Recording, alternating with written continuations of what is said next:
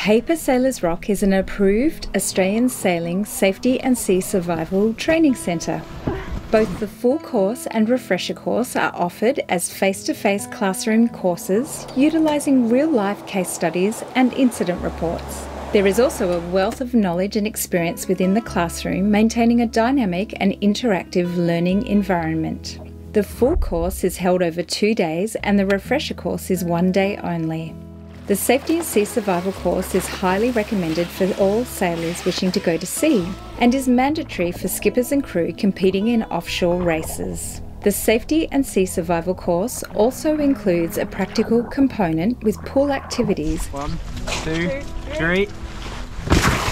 Which include deploying and righting an upturned life raft, hopping into the life raft, recovering survivors and surviving in the life raft, use of the PFD in the pool, methods to reduce exposure whilst in the water, and crocodile swimming. The other practical component is the flare demonstration, where participants will have the opportunity to learn how to use distress flares so that in the event of a distress, all crew will be competent to send a distress signal. So these are in your life raft as well. So they're called a heliograph or a signalling mirror. Upon successful completion of the course, all participants will gain an Australian Sailing Safety and Sea Survival Certificate as required for Cat 1 and 2 races and is valid for five years.